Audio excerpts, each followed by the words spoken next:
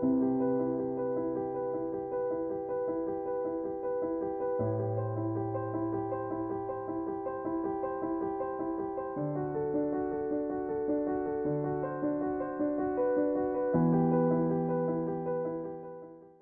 The World Health Organization has declared a swine flu pandemic. Zika virus continues to infect people. The new respiratory virus called MERS. SARS killed nearly 300 A big people. outbreak of the deadly Ebola virus. The outbreak spread widely and cannot be contained. There is such a thing as being too late. If we do nothing,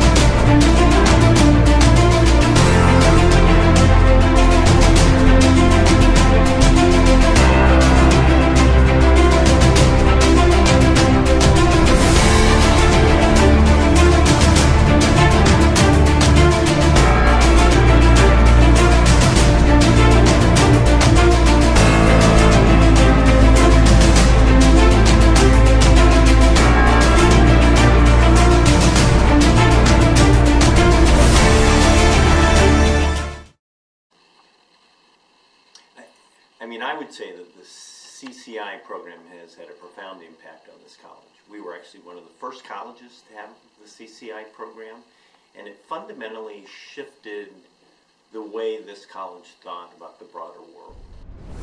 Okay, the importance of having a CCIP program here at Northampton Community College.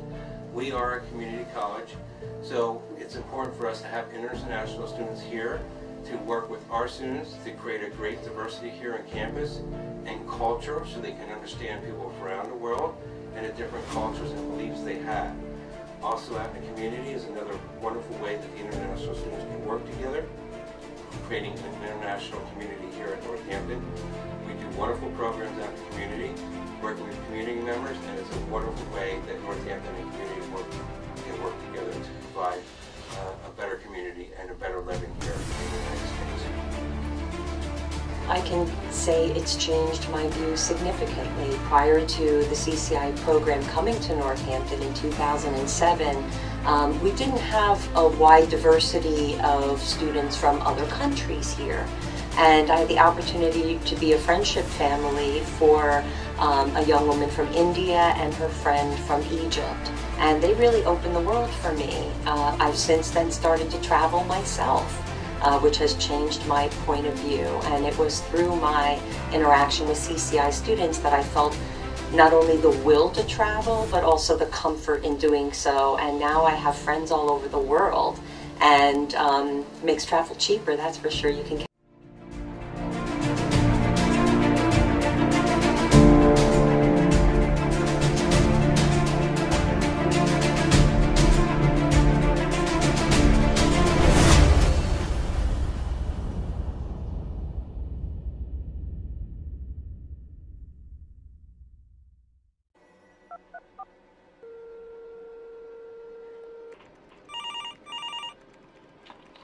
Nine one one. What's your emergency?